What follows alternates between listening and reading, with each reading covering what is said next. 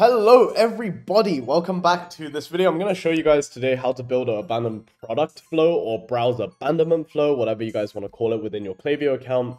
This flow will print revenue for you. I'm going to show you all of the best practices and also uh, I kind of made like a little doc that kind of goes over exactly how I would actually get more advanced with it, but also I'll show you some content examples and how to actually build out in Klaviyo. So let's get into it. So first of all, you're going to jump into your Klaviyo account, you're going to go over to flows, and then you're going to want to hit create flow.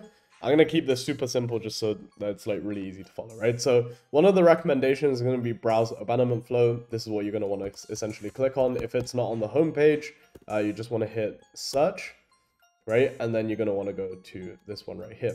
So browse abandonment flow, I just always like to rename this to abandoned product because this is our agency naming conventions. Um, you don't really need to figure uh, like do any type of tagging. This is just a demo account. That's why you get all of these errors. If you correctly integrated Shopify or BigCommerce or WooCommerce with your Klaviyo account, none of these will pop up. It's just that this is connected to a Stripe account rather than a Shopify account right now. So that's why. So once you get this, you're going to want to hit create a flow. And the structure is basically 90% of the way there, right? Like, I don't understand why people in other videos demonstrate this from scratch. This is actually how you realistically do it. So once you are on the screen, you're going to want to hit trigger, right? Once you're in trigger, you want to hit flow filter. You just want to double check because uh, they sometimes change this up, right? Which is uh, check out zero times since starting this flow, placed order zero times since starting this flow, has not been in flow since last 30 days. I always like to change this to 14, 30 in my opinion is way too long. And the only other filter you're gonna add want to add in here is uh, someone has or has not done. And for the metric, it's actually gonna be a uh, added to cart. So this added to cart metric is not installed on this demo account specifically, but normally you're going to want to just scroll to API and there's going to be something called added to cart. And then you're going to be uh, selecting zero times since starting this flow. Boom. And then you're going to want to hit save. Obviously, I can't do that in this case because it's not installed.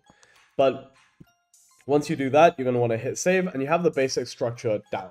Now, when it comes to the delay, for this, I like to have it between one to kind of two hours long, depending on how your how long your abandoned checkout and your abandoned cart metrics uh, flow, sorry, fire. So for example, if your abandoned checkout is like 45 minute delay, in which case this one, you're going to want to have at least an hour 30 delay, right? So that's kind of that. We can leave that for two hours for now. And then the second email, just make sure the time delay is uh, 24 hours minus two hours. Reason being is because we generally tend to check our phone around the same time every single day. So, you know, if you, let's say, leave it two hours later, it just means that most likely they could already be asleep if they, you know, viewed this product at like 10 p.m. at night right before they went to bed because they got your ad. And then like two hours later, they're sleeping. The next day, you're following up at midnight. You see what I mean? So you're going to want to set this two hours and then you just want to hit 22, boom or whatever the amount is, 24 subtracted this number right here. And then you're going to want to add, a, add another email. So in terms of email content suggestions, I really recommend like a two to three email sequence right here. Nothing too, too long. And email one, really simple. Just it's a reminder based email with no offer. Or if there is an evergreen offer on the website, you want to remind people of the evergreen offer. Email two here, you can kind of include and introduce an offer as an optional thing, but you really want to bring in some unique selling points of the brand, the product, introduce some trust factors. So, you know, has it been featured on any publications, for example? Have you ever collabed with any like key opinion leaders in the space? These types of things will work really well in email two. And email three, introducing some urgency on the offer is ideal, followed up with some social proof, potentially some shipping information and that kind of stuff. Now, obviously, what I just told you is like super basic and generic right? If you want specific recommendations, I really recommend you book in a call because I have an email agency. We do a sick job. And yeah, don't want to like plug myself too hard, but yeah, we, we actually do really good work. Anyways, um, so ignoring the generic recommendations, you can actually spice things up by segmenting for really specific product views, right? And this really works well for seven and eight figure brands, which is why if you are that, rather than trying to figure out all of the complicated stuff by yourself, just book in a call with us. Now, how you would do that is basically you want to add trigger filters and where it's like, I don't have the any Shopify products integrated on this account, but basically you can do it so that where product value or sorry, uh, where product name equals certain products, it will only show this specific flow to people who view very specific products, right? And then that way you can actually tailor your content over here. So rather than being generic about it, you can tailor very specific content to your specific product page view right? So that's that. In terms of actually customizing and creating the content, let me show you an example of a flow build that I did for a client not too long ago. So these guys sell like gun optics, right?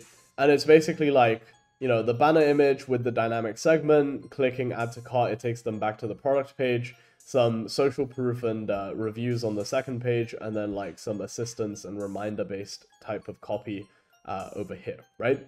So how it works is basically the dynamic segment will look like this, right? You actually go into the template email they actually provided you, and it's gonna look something like this. Template is gonna look super basic. You wanna delete literally everything except this block right here, right? So you wanna hit delete, delete, uh, delete, delete, delete, boom.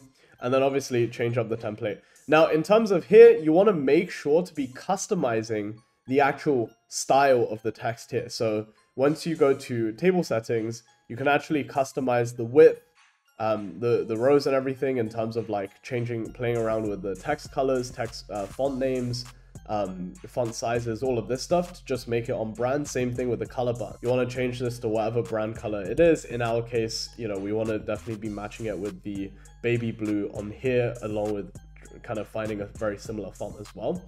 So once you do this, you just want to essentially export this as sections and then import it onto Klaviyo and then leaving the bit of space for dynamic segment, which is why our designers are so good at designing this in place.